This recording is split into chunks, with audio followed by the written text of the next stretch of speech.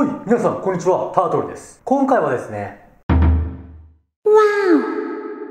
ということで、スマートフォンを使っていると、肩がですね、ちょっと内側に入ってしまって、肺が広がりにくく、呼吸が浅くなってしまいます。で、呼吸が浅くなるとね、すごいストレスを溜めやすくなって、太りやすくもなりますんで、今回は、ここの肺を広がりやすく、ストレッチする方法を一緒にやっていこうと思います。では皆さん、一緒にやっていきましょう。じゃあまず立ちましょう。はい、立ってもらったらですね、まずは、手を上下上下。で、手を叩きます。後ろはこういう感じです。でできればですね、できるだけ高い位置をタッチ。できるだけ低い位置をタッチ。という感じで、上下上下。10秒やっていきます。はい、いきます。1、できるだけ上下、高い位置。高い位置をタッチ。4、5、6、1、8、しっかり低い位置をタッチ。9、10。はい、今度前後。こういう感じです。しっかりね、後ろはタッチしにくいので、できるだけ勢いよくタッチしてください。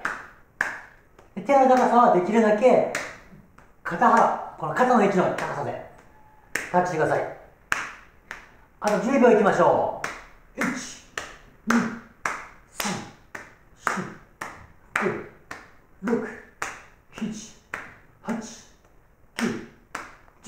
はい、OK です。今度はですね、肘を曲げて、こういう感じです。上下、上下という感じで動かすんですけど、できるだけ動かす位置を、このように、180度動かしていきます。これも一緒にやっていきましょう。では行きましょう。このポイントはですね、しっかり引く。しっかり下ろします。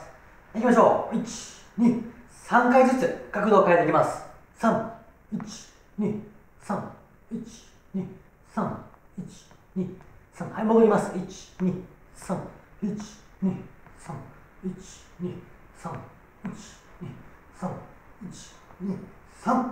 はい、お疲れでした。皆さんね、これやる前とやった後、胸の広がり具合がね、全然違うと思うんですけども、しっかりね、深呼吸してもらうと、空気がいっぱい入った感じになります。なのでね、スマートフォンを見ている方は、ぜひこれをね、毎朝、そして寝る前にね、やってもらうことで、一日朝やることによって、一日呼吸が広くなります。仕事が終わるとまだ固まってますんで、寝る前にしっかりやってもらって、寝てる間も呼吸が広くなって、ぐっすり眠れますんで、ぜひこのスマホ体操を毎日やってもらえたらと思います。ご視聴ありがとうございました。よかったらコメント、そして説明欄のブログ遊びに行ってください。ありがとうございました。